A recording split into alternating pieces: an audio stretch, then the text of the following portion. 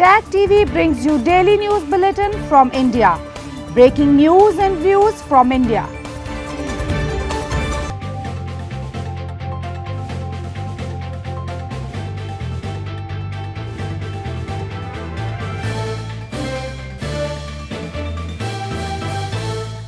Good evening. Welcome to South Asia Newsline. I'm Yeshi Chonzom. Here are the top stories we are tracking for you on Wednesday, the 1st of July. Paramilitary personnel civilian killed in attack in India's Jammu and Kashmir. Transporters and hotel workers protest against lockdown policies in Gilgit-Baltistan. And Nepal opposition take to streets against Discriminative Citizenship Act. And now for all the details.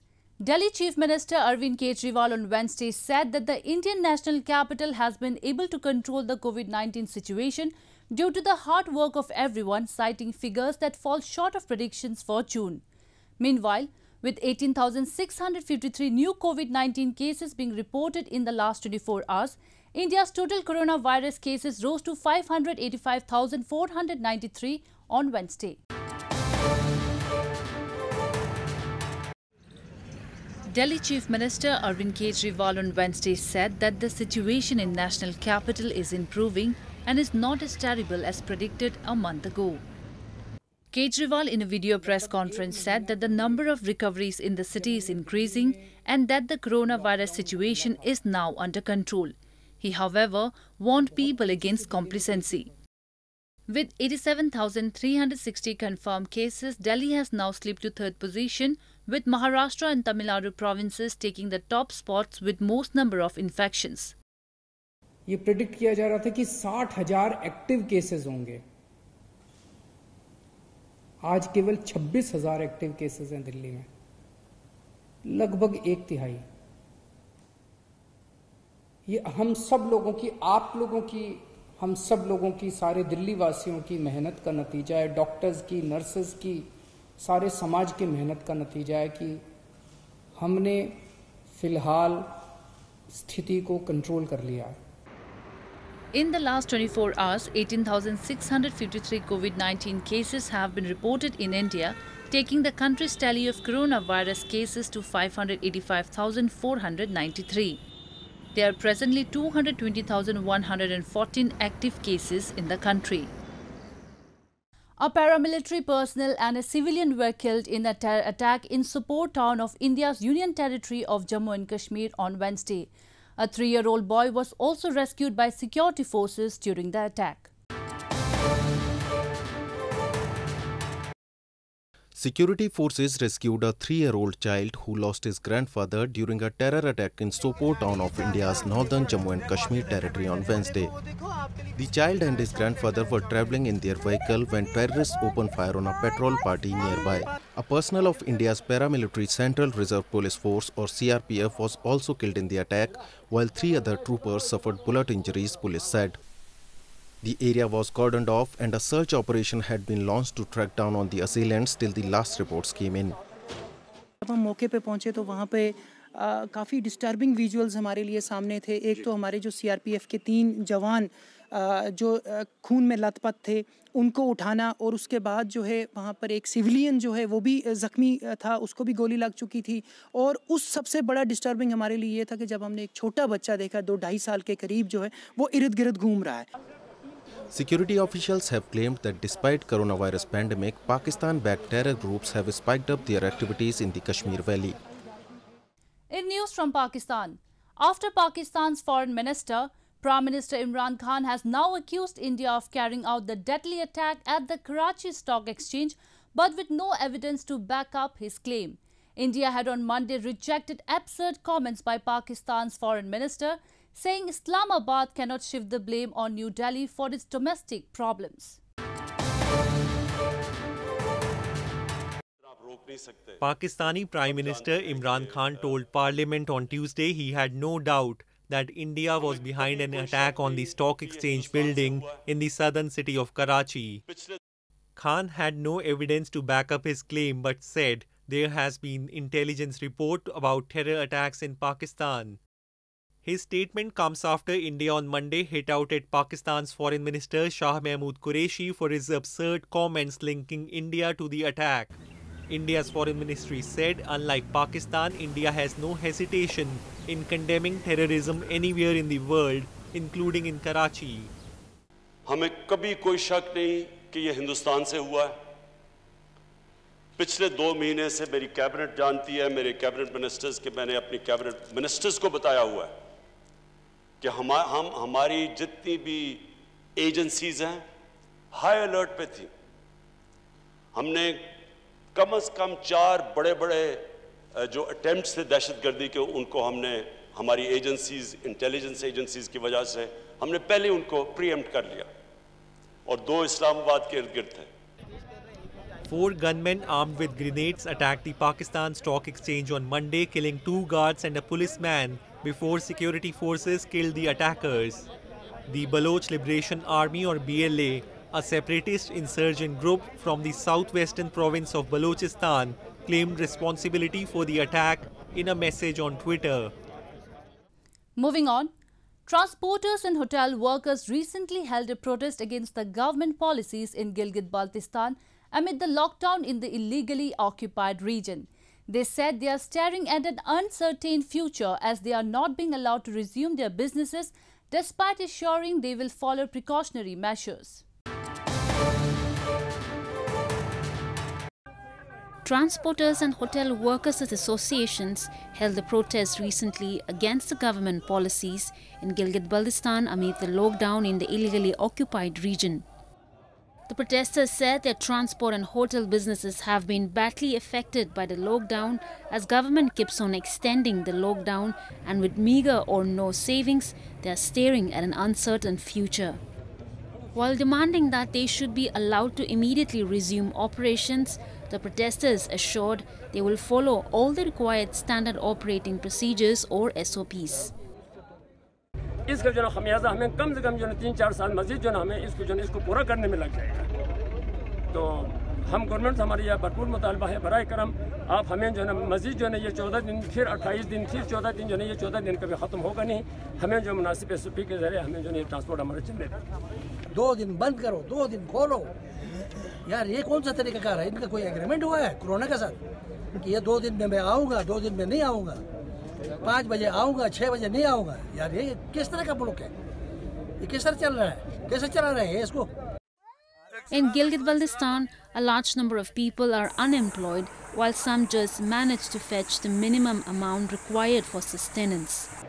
Locals claim the inactive administration in the illegally occupied region has not shown any interest in their problems even at the time of this pandemic and has provided no relief.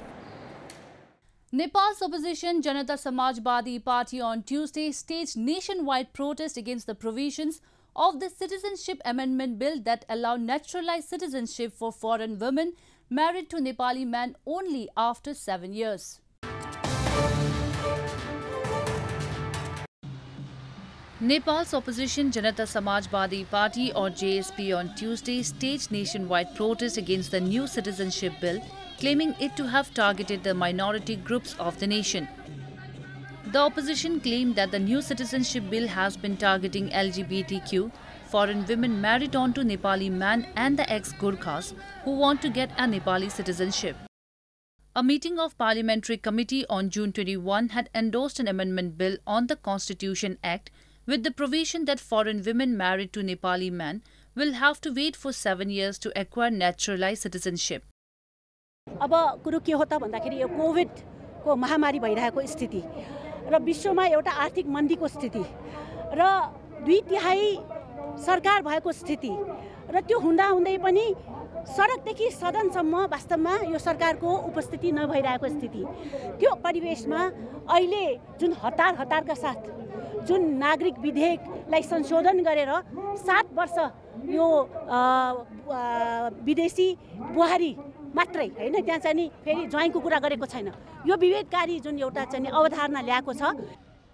Nepali Congress Samajwadi party Nepal and Rashtriya Janata party Nepal have oppose the provision calling it unconstitutional as it goes against the provision of interim constitution two thousand six Nepali politics have remained undecided over the Citizenship Act for two years, despite holding as many as 140 meetings over it by the same committee. Moving on to news from Bangladesh. The capsized ferry was hosted from water by Bangladeshi rescuers on Tuesday following its collision with another vessel on Monday which killed at least 32 people. Bangladesh's Ministry of Shipping has launched an investigation into the cause of the incident.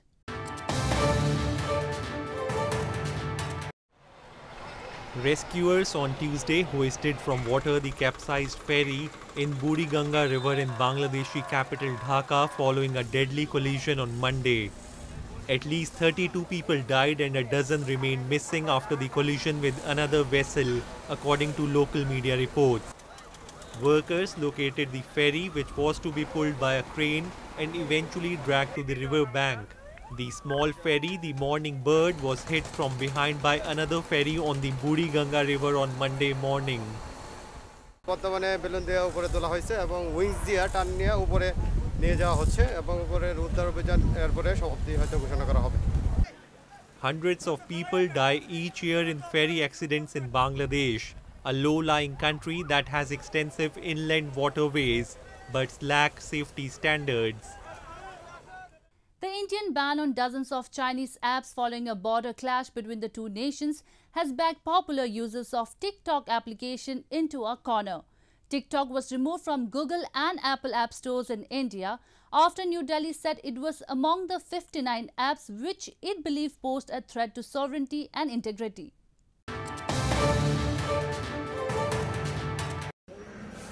The Indian ban on dozens of Chinese apps this week following a border clash between the two nations which killed 20 Indian soldiers has backed popular users of ByteDance's TikTok application into a corner.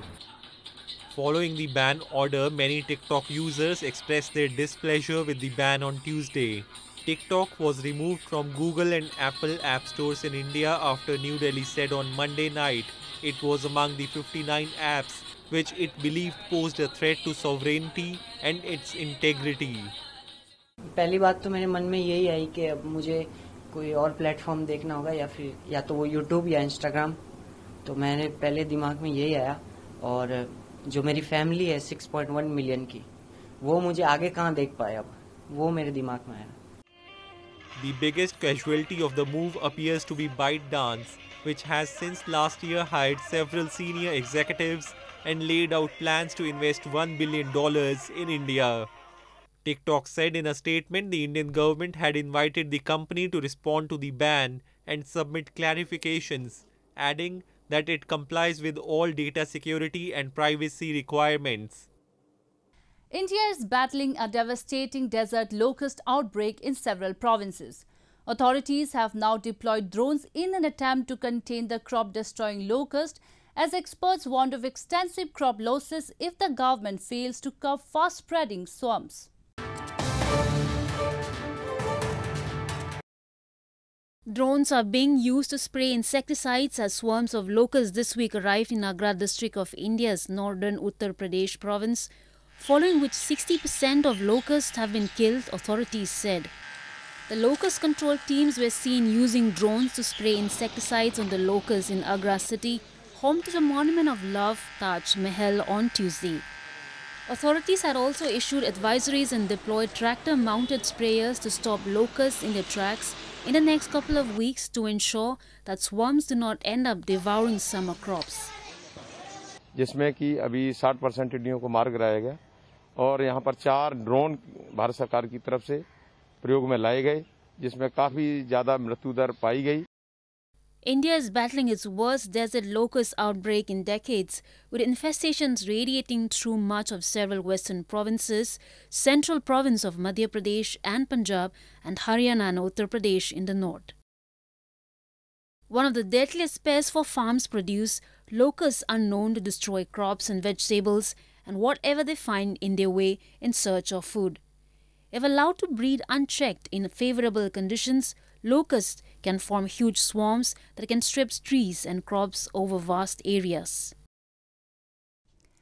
Well, that's all we have for you from South Asia this evening. Now our viewers can watch the show on southasianewsline.com.